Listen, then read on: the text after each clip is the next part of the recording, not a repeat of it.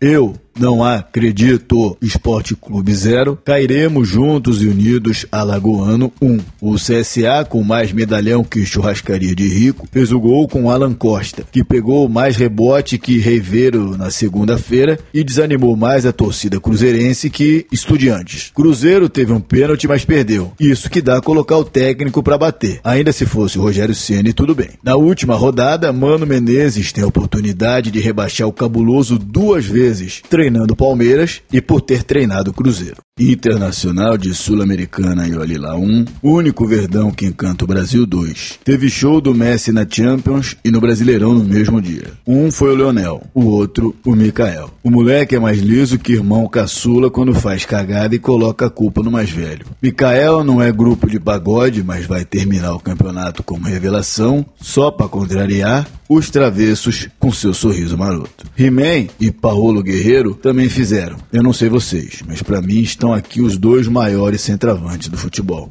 A associação perder para o Botafogo já é demais. Ence 0, Fogão Incaível 1. Um. A Chape, pela primeira vez na história, rebaixou, provando que time grande rebaixa sim. E o fogão de sedutor Valentim deu uma aliviada na briga contra o Z4. Com muita sedução e muito amor, coisa gostosa do futebol. Juan Prata da base do fogão ficou mais calmo que nerd fazendo o Enem para tirar do goleiro e dar vitória para a estrela solitária. E o fogão tá mais aliviado que você quando a Morena fala que desceu. Esporte Clube viramos o Galo 1, Galo 1. No gol do Casares, o zagueiro Juninho entregou mais que os Correios em época de Black Friday. O famoso zagueirão AliExpress. Pode demorar, mas uma hora entrega. O Bahia empatou com o Elber, mas como não foi gol do Gibagol, não tem piada. Jogo do Bahia sem gol do Gibagol não é jogo do Bahia. Exorcizamos o Carilli Paulista 3, era o Corinthians, mas parecia o Flamengo Futebol Clube 0. Corinthians venceu venceu e marcou três gols. Vocês não entenderam. O Corinthians marcou três gols no mesmo jogo. Eu queria fazer uma piada com isso, mas ainda estou muito assustado com essa informação. Gusta quase gol finalmente virou Gustagol e abriu o placar. Júnior Urso não é o Ralph, mas engatou a quinta marcha e acelerou para fazer o segundo. Bozelli se inspirou no Romário, não aquele de dentro de campo, aquele do futebol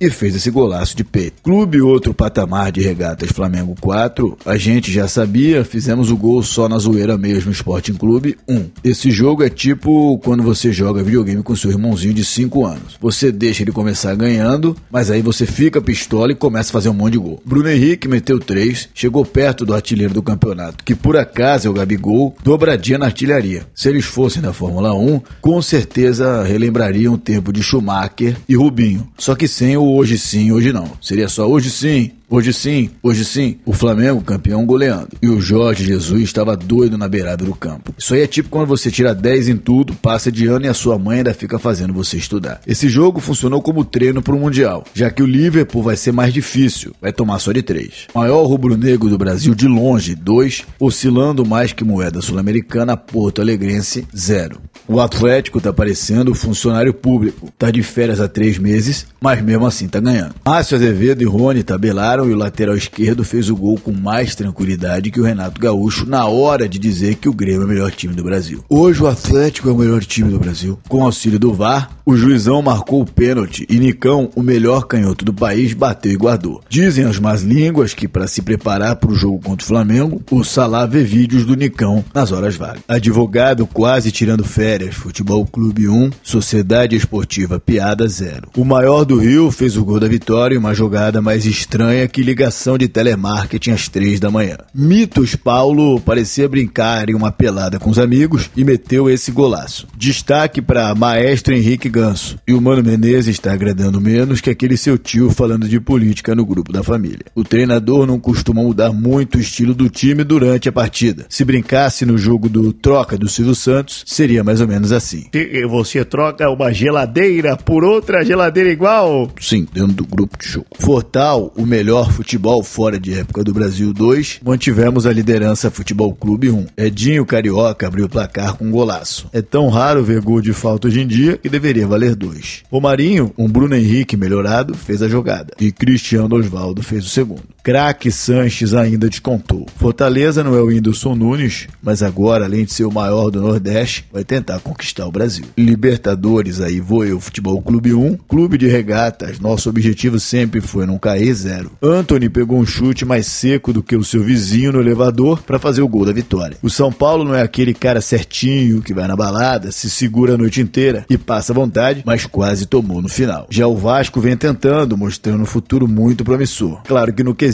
sócio-torcedor, porque em campo ainda tá bem difícil. Cavalinho é moda e cadê ele aqui no meio de semana? Pra ajudar vocês. Nascimento é muito foda. Faca na caveira e clubismo na zoeira. Agora o bicho vai